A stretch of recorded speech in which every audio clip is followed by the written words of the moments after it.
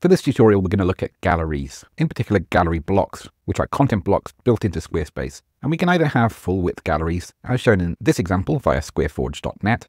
Head over there and you can steal any one of these layouts. We've got the templates here going anything up from two images to three, four, five, six.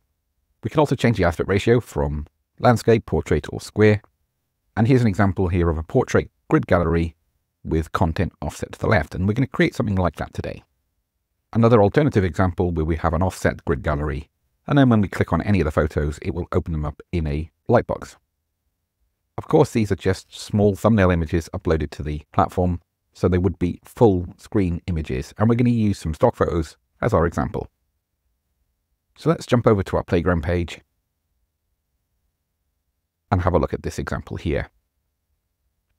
First of all, I'm going to duplicate this section that was created for a previous tutorial and we're going to use some of this content. So I'm going to delete these two items by click, drag and selecting all of these. And I'm going to select that single image and delete that.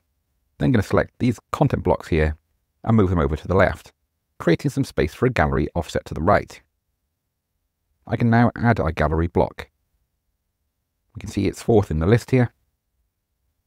And we've got some placeholder images already in place. I'm a little tired of these now because I've been using Squarespace for so long, but they do the job.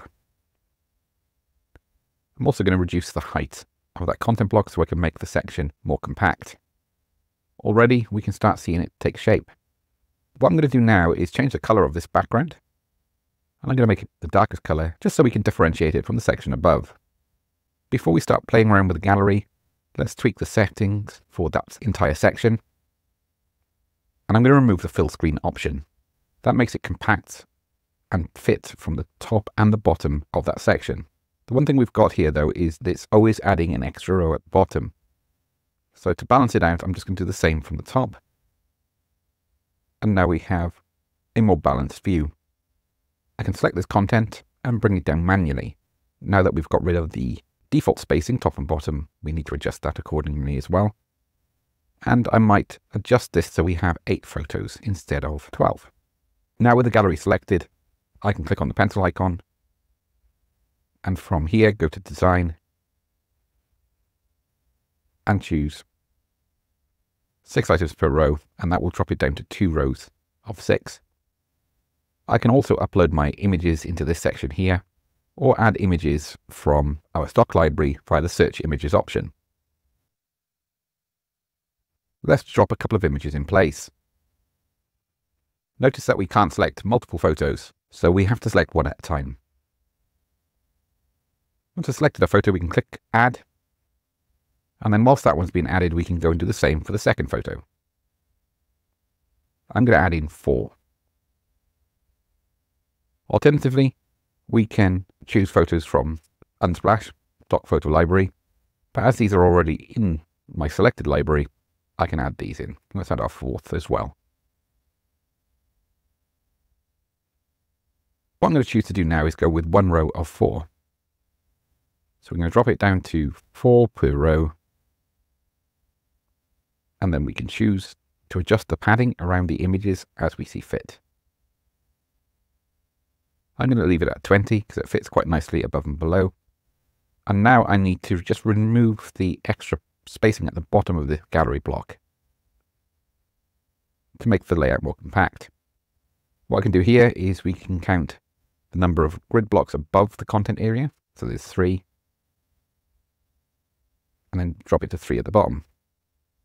This is always fun because I always find with the touchpad on my MacBook, it's always a little bit fiddly with this setting.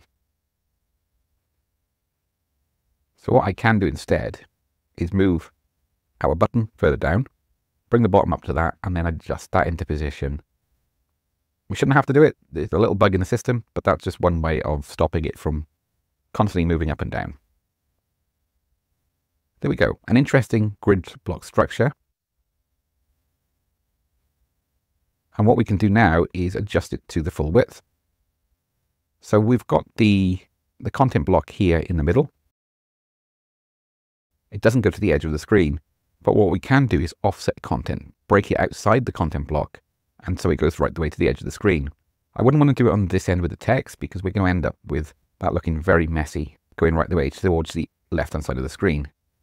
So I'm going to leave that to the natural size and this gallery going right the way to the edge.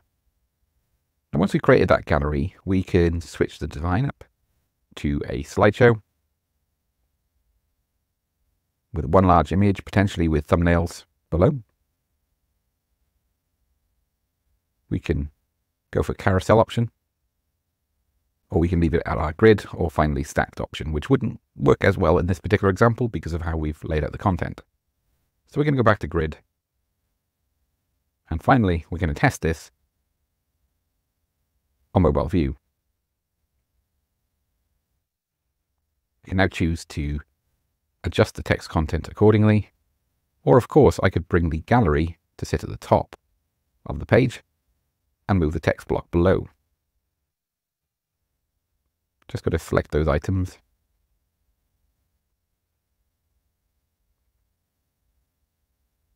Reshuffle things around.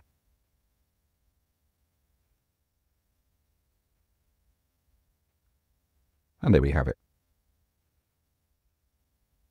The great thing about how this works with Squarespace is that even though we've got the images first on mobile, we haven't moved or touched anything on desktop view. So we still keep that specific look and feel for desktop, which then automatically adjusts at a breakpoint for mobile. Hope you found this tutorial helpful.